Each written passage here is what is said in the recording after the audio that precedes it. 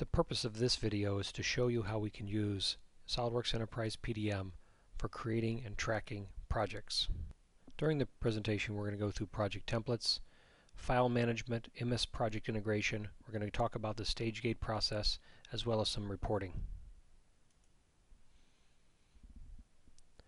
The benefits of using this type of approach is that we want to improve our process efficiency, help people find the information they need, and also improve decision making with better and uh, friendlier dashboards for viewing project information. Uh, we're going to start by creating a new project. We use a template in Enterprise. Uh, the template gives us a new number. We can pick things like a project manager. We can define things like project name, risk, uh, like in this case a priority. And then once we hit OK in this interface, it's going to go ahead and build a project structure with folders uh, meant for storing the data that's critical for this project so that a user can go to this project folder and find everything related to a particular project, whether it be CAD files or other types of uh, information. As you can see, it names the folder based on the project number, and all the appropriate folders are built inside, and the appropriate permissions are assigned.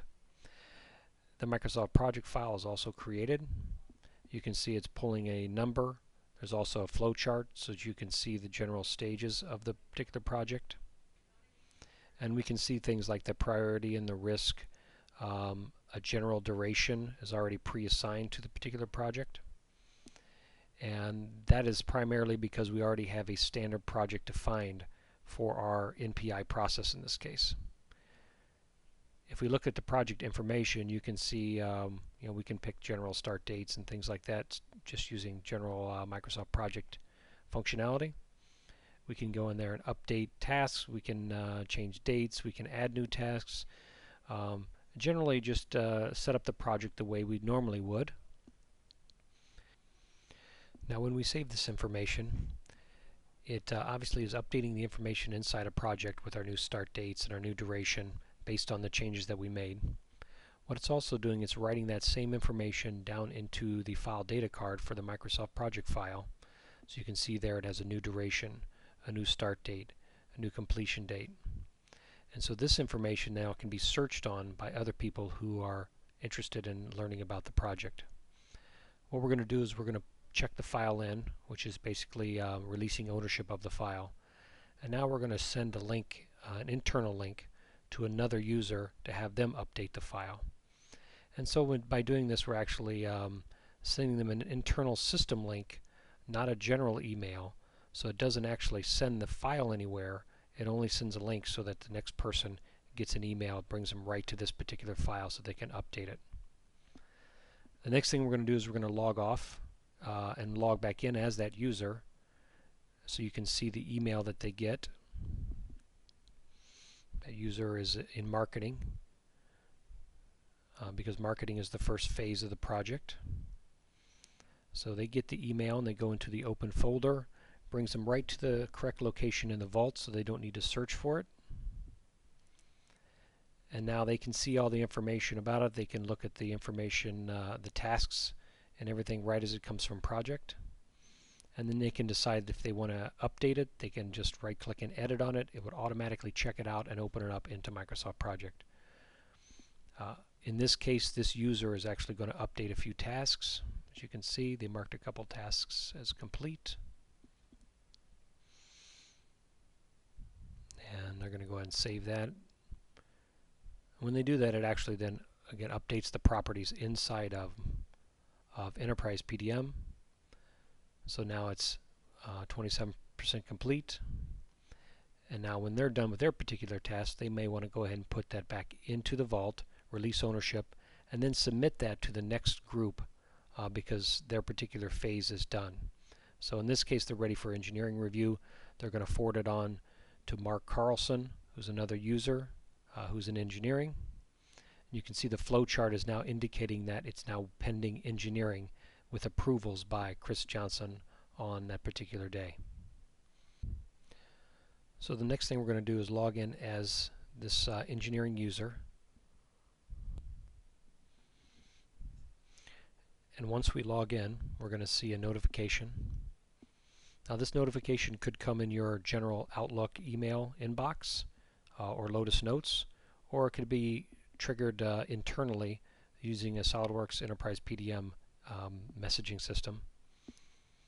It's going to allow you to navigate right to the project and you can use the preview functionality to look at all the tasks, uh, look at the information on the data card, and then update it um, by checking it out or by just right-clicking on the file and editing.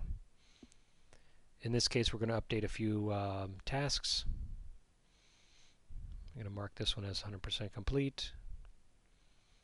And then save the information. Obviously, the project file itself is updating um, to make its adjustments, and then those same adjustments are being written right to the data card so now we can see it's 40% complete and we've actually upped our project duration as well. Once we're done we can check this back in, uh, releasing ownership and allowing other people to work on the file. You can see it's still pending engineering update. Uh, if we want to look for other projects that are pending engineering review, we can go to the NPI search and quickly see all the ones pending engineering and looking at their priorities and the risks associated with those projects. Uh, if we want to look for ones related to a particular project manager, we can do that as well, and it just shows us this one project is waiting this particular user's information. The next thing we're going to do is actually log in as a administrator, somebody who has more rights to see all the projects, so we can show you what this uh, dashboard view or report looks like when you see all projects.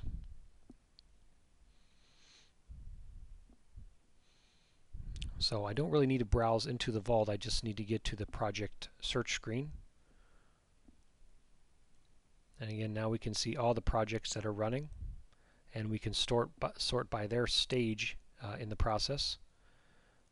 Um, obviously you can see the start dates and um, potential finish dates and percent complete.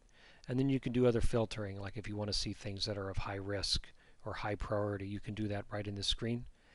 And this screen is fully uh, configurable so that any amount of fields you want to put on there, we can put right on the card so that you can do the searching um, right from Enterprise PDM. Um, this information you can export to Excel uh, so you can build reports to take to meetings or you can directly mine the data from Crystal Reports or um, or from something like Microsoft Excel.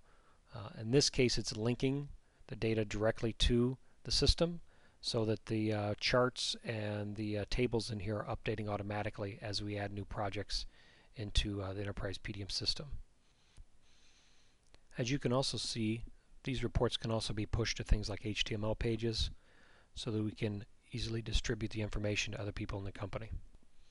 With that, that concludes my presentation of using Enterprise PDM for tracking and managing projects.